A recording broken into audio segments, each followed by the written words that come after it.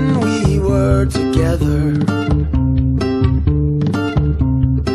Like when you said you felt so happy you could die. Told myself that you were right for me, but felt so lonely in your company. But that was love and it's an ache I still remember.